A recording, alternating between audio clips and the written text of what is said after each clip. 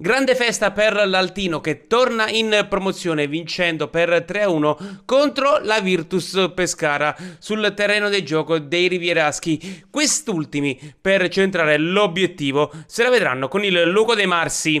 Pronti via e prima occasione Altino. Mustafa colpisce a colpo sicuro, la Virtus si salva in corner, i padroni di casa rispondono al quarto d'ora, portandosi in vantaggio su cross di pesce, tutto annullato per fuorigioco tra le proteste locali, crescono i biancazzurri, Bordoni prende la mira, Mainardi smanaccia in corner, dalla parte opposta i biancoverdi si portano in avanti, Mainella trova sulla via del gol. Un super di Michele, il numero uno di casa non può nulla sul colpo di testa di Mustafa, i pescaresi hanno una ghiotta chance avanza la mezz'ora, De Leonardis viene trattenuto, il vantaggio non viene concretizzato e Fiore di Teramo assegna la massima punizione. Dal dischetto cecchino Bordoni non sbaglia, impatta il match. Nella ripresa ci prova ancora l'11 del duo Dezio Stella. Grassi dai 25 metri, palla alta sopra la traversa. L'Altino non sta a guardare, erroraccio difensivo Virtus. Capitan Carunchio ringrazia e suggella il pesantissimo vantaggio.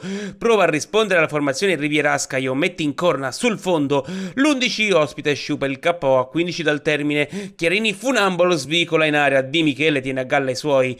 Piove però sul bagnato in casa Virtus Pescara. Di Marsilio si incunia e viene trattenuto dagli 11 metri. Glaciale Chiarini con un cucchiaio alla Francesco Totti porta in promozione l'Altino scrivendo una pagina di storia. Per la Virtus Siravo d'orgoglio non ci sta, ma trova un incredibile salvataggio sulla linea. Appuntamento rimandato al prossimo turno per i biancazzurri per centrare il traguardo chiamato promozione. Grande festa in casa Altino. Sì, sì, è, giusta, è il giusto merito e sicuramente la società è conscia che questo è un gruppo da cui si può ripartire, un gruppo genuino, un gruppo veramente fatto di, di uomini prima che di calciatori e la società troverà sicuramente grande appoggio perché ha delle basi solide per, per il prossimo anno e i giovani sono veramente, veramente umili e impareranno tanto dai, dai più esperti. Ma no, è una decisione che ho maturato un po' di tempo fa. Oggi i ragazzi ne erano al corrente e mi hanno reso felice perché veramente hanno fatto una grandissima prestazione, hanno supportato me che era un po' che diciamo eh, non mi allenavo con, con, frequenza, però devo dire che questo è un gruppo che merita veramente questa, questa promozione perché si è sacrificato dal primo giorno e veramente ha versato tutto quello che aveva in mezzo al campo fino all'ultimo secondo di questa partita. Ma ti devo dire la verità, eh, quest'anno non ho seguito molto gli altri gironi, eh, la Virtus però è sicuramente una grande squadra. E a tratti all'andata abbiamo sofferto, abbiamo dovuto stringere i denti e quello è il, nostro, è il nostro pane quotidiano. Ci siamo trovati bene a soffrire, anche oggi qua dopo l'1-0 si sono subito riportati sul pareggio, hanno dei grandi giocatori, sono guidati da un duo veramente competente e secondo me possono dire la loro in questa, in questa finalina.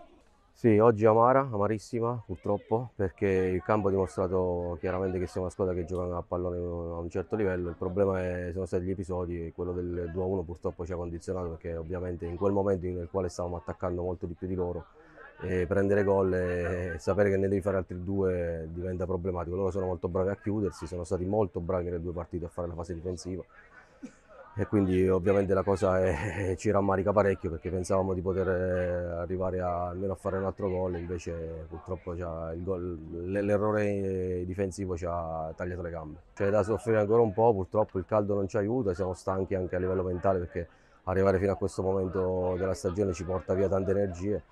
E purtroppo dobbiamo giocare questa partita perché avremmo preferito non farla ovviamente. E niente, oggi purtroppo dobbiamo fare i conti con la realtà che è quella che purtroppo ci sono altre due partite da giocare sperando che almeno in quelle riusciremo a, riusciremo a portare a casa l'obiettivo. Onore ai vincitori, sono stati bravissimi tutte e due le partite, sono stati molto sportivi, lo voglio dire perché difficilmente troviamo degli avversari in giro con questa educazione, cosa che invece per esempio, lo voglio pubblicamente dire, l'arbitro oggi non è stato educato, e si è atteggiato a superuomo nei confronti della panchina parlando in, in, con dei termini che sono più che altro da scaricatore di porto. Lo voglio far presente, lo faccio presente tramite la società domani mattina all'Aia di Teramo perché è una cosa che non mi cala perché nessuno qua si è potuto permettere di dire una parola perché ci ha aggredito verbalmente dall'inizio alla fine, commettendo degli erroracci, se avete visto il gol in fuorigioco che poi hanno ammesso non essere in fuorigioco dell'1-0 che ci portava in vantaggio e cambiava la partita ovviamente, quindi purtroppo queste sono quelle cose che fanno male, meno male che ogni tanto vediamo pure degli avversari che sono persone serie, sportive ed educate che insomma ci riconciliano un pochettino con lo sport.